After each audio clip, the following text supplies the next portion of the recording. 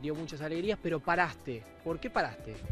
Eh, la realidad había parado por razones laborales, este, me dediqué a trabajar y bueno, y llegó un momento que dije, eh, quiero volver, quiero volver a lo mío, al atletismo en silla de ruedas, lo que también me da muchas satisfacciones, mucho placer.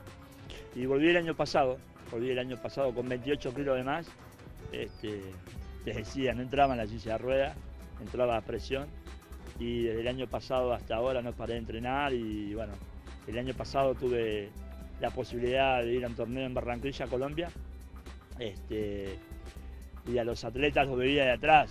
Entonces mi entrenador Beto Rodríguez me decía que era, era un año de, adaptación, que recién este año iba a poder estar en un, en un muy buen nivel y así fue.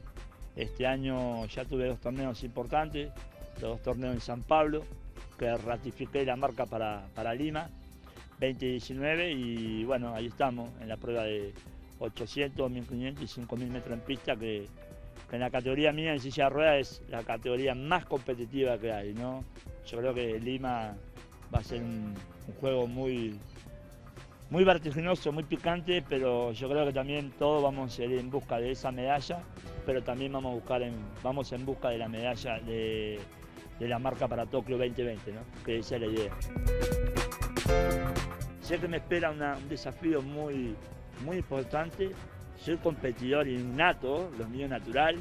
Te darás cuenta que, si bien agradecido que, estén ustedes acá, pero mi trabajo específico lo, tenía que hacer sí o sí.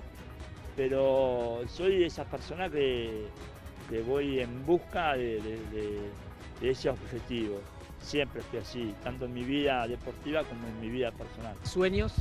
Uf, muchos, muchos. Vivo soñando, vivo soñando, vivo, eh, soñé estar en Panamericano, eh, sueño, eh, sueño con, un Paralímpico, pero por sobre todas las cosas algo que a mí me, emociona mucho, sueño con ser papá. y creo que después de de Tokio, si Dios quiere, porque soy optimista, seguramente que eh, voy, a, voy a lograr ese sueño tan, tan lindo de, ser papá. Me está costando mucho trabajo, pero, pero ese objetivo lo voy, a, lo voy a cumplir, ser papá y sea nena o nene, pero lo voy a, lo voy a cumplir, ese es el sueño mío. Así que este, creo que lo mejor está por llegar. Y seguramente va a pasar Tokio y la mejor medalla que uno puede ganar es el día de mañana ser papá.